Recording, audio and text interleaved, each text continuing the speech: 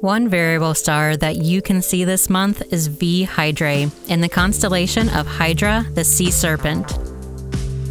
Though often bright enough to be seen in a dark sky, it is more easily found with binoculars. Find it about 5 degrees south of the bright star Nu Hydrae, and you'll be able to see its deep cherry red color. It's been known by many because of this stunning red color, even before S.C. Chandler of Harvard University announced its variability in 1888. Why is this star so amazingly red?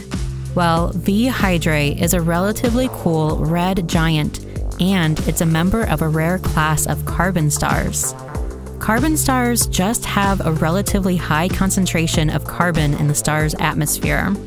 This excess of carbon is the reason for its deep red color.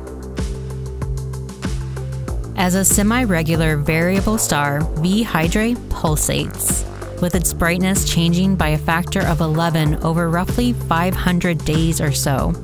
This change in brightness is superimposed on a longer period of 18 years, where the brightness may drop even further.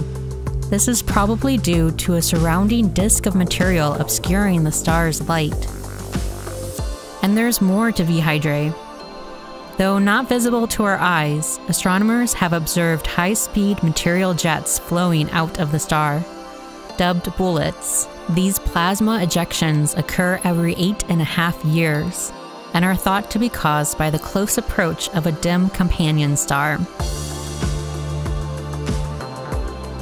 To help you explore V Hydrae, the constellation Hydra the Sea Serpent, and the rest of the night sky, try using a star chart or an app on your phone or you can use our special handout.